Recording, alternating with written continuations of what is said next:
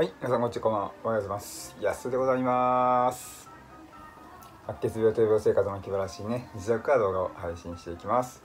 えこの動画でね、白血病がになってしまったたくさんの患者さん、そしてそのご家族、お友達が元気になってもらいますように頑張っていきます。えそして皆さん、この動画配信をきっかけにですね、ぜひ、献血骨髄バンクにご協力ください。皆様の血液が必要です。日本全国、世界中で YouTube を見ている皆様、どうぞよろしくお願いいたします。えー、今日もねその歯医者の話を少しというか、まあ、歯虫歯のね治療をした箇所の話をねさせてもらいます、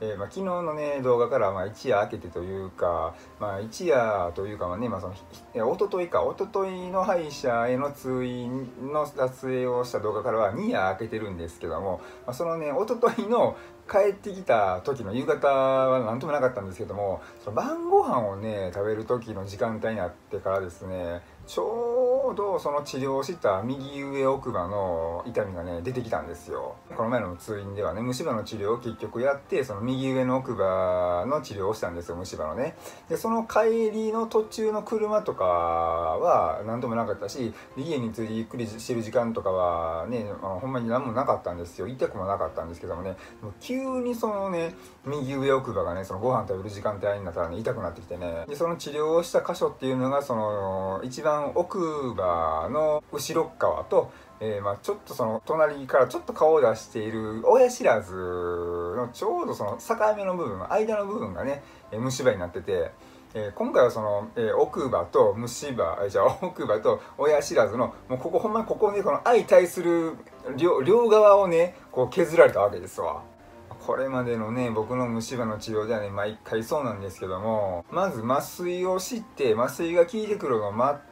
麻酔が効いてきたらドリルで削り始めてドリルで削り終わったら少し休憩を取ってもらえるんですけどその少しの休憩の時にねこの椅子をバーって起こしてもらってうがいをさせてもらうんですよね。で先生もうがいどうぞってね言ってくれるんでそのうがいをさせてもらうんですよ。僕はそのうがいをする少しのその休憩時間のね、まあ、12分なんですけどもその隙にですねベロでね治療した箇所をね触りまくって、まあ、どこまでどんだけ削ったんかなーってねいうのをね確認するね変な癖があるんですよ。皆さんもありませんかね？ちょっとベロでペロペロって触ってしまうような癖ね。まあ先生とかねその歯医者によってもう方針が違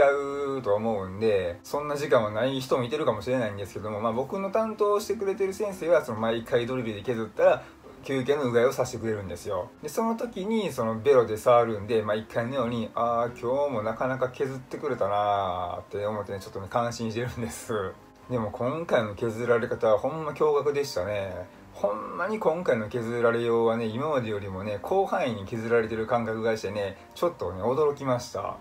驚いてるのもつかの間ね先生が「そろそろ行けますか?」ってこう聞いてきたので僕も「はい」って言ってその椅子の背もたれをねバーって倒されてまた治療が再開しました。もうね今回のこの1回のドリルでね完全に虫歯は削ってもらえたので、まあ、次からはね削られることはないと思うんですよ。こんだけ深く削られてるからね。でもねその以前のねその左奥歯の時のね治療の時とね同様にね消毒液をね入れられてでその消毒液を何年かでこう詰められて多分綿な綿かなんか分かんないですけど詰められてで蓋をされたんですよ。でなかなか頑丈なねあの蓋でまあ以前のその左奥歯でね悩まされた柔らかすぎる変な蓋じゃなくてねちょっと安心はしてるんです。まあねそのね過去のね左奥歯に関してはですね結構な回数でねその蓋がね歯磨きするたびにねあの削れてけあの剥がれていってねなくなっていたというね始末だったんですけどもね。そしてそんなね左奥歯なんですけどもね実はね今もなおですね治療中でして一時停止をしている状態なんですよ。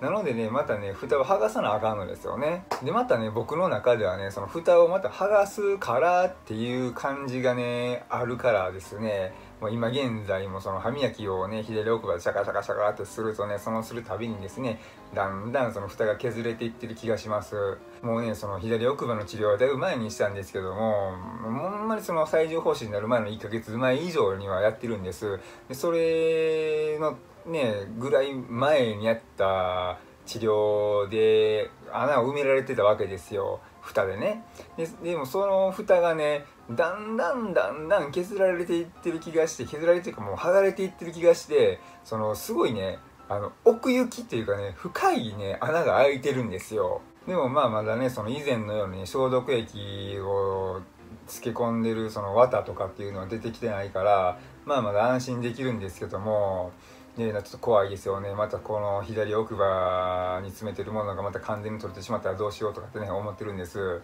ともにまあいつの間にか左奥歯の話になってますのでちょっと話を右上奥歯に 戻しますね。でそんなねその右上奥歯がね痛くなってきた話なんですけどもね、まあ、この動画の初めにお話ししてますけども、まあ、家に帰ってきてゆっくりしててご飯の食べる時間帯になったら急に痛くなってきたんですよ。そのご飯を食べる時間帯やったからあれは多分7時頃やったんですよね。でその日はねその病院の予約の関係でね帰ってくるのがちょうど夕方5時半ぐらいになるからで事前にねちゃんとね夕飯を作っておいてまあこんな時期やしこんな季節やからっていうのでねちゃんと冷蔵庫や冷凍庫に入れておいてで帰ってきたら電子レンジでチンしたりですねもう一度鍋に火で火をかけてればねすぐ食べれる状態になるようにしておいたんですよ。でその用意をしている時は何ともなかったんですけどもこれ自分の流動食をね作ってさあ食べようって家族のね料理も出来上がってさあ食べようっていう時に僕が流動食を飲もうとした時にですね奥歯がズキーンってこうしたわけですよ。もう信じられへんわ。今のこの今まで何ともなかったのにって思ったんですけどね。よう考えたらねその歯医者ではね麻酔をしたわけですよ。治療する前にね歯を削る前に。なのでただただ麻酔の効果があって痛くなかったっていうだけであってでその麻酔の効き時間が3時間から5時間と聞いてましてね、えー、だからねその歯医者のその日の予約が2時半ぐらいからやったから、まあ、そこからま3時間から5時間経つとね、まあ、ちょうど7時前後になるんですよ。ほんでねその7時前後になってたから麻酔が切れてきたんですね。そっからというものねもう流動食を軽くちょっともぐもぐってねしてみたらですよ。ズキズキと痛みがあるんです。ほんまこの噛むたんびにズキズキするのはね嫌でしたね。昨日の動画を撮影している時とか編集している時っていうのはその帯状疱疹ご神経痛でねもらってる薬の中にねこう何ていうんですか割と歯医者でもらいがちなもらえれるような鎮痛剤が入ってますので、まあ、同じ名前の鎮痛剤が入ってましたので、まあ、それのおかげで昨日も今日もね、まあ、今のこの今もねその痛さはね上手にねコントロールできておりますのでちょっとうずくぐらいでほんまに痛くないんですよ今はね。まあ今日もねさっきもほんまに朝食はちょっとパン食べたり柔らかいパンひたパンですけどね食べたりとかえー、昼食も納豆ご飯でこう柔らかくしてね食べてしてるんですけどもまあちょっとねもぐもぐって噛む程度では噛みますけども全然こうズキンズキンできたりはせずにほんまにコントロールできてるなと思いますね。ちょっとうずくぐらいなんですけどもね。まあそれに比べたらまだねその帯状疱疹後神経痛でね悩んでるこの左足の方がねめっちゃ痛いですよ。ちなみにねその帯状疱疹後神経痛の痛み止めでねその歯医者で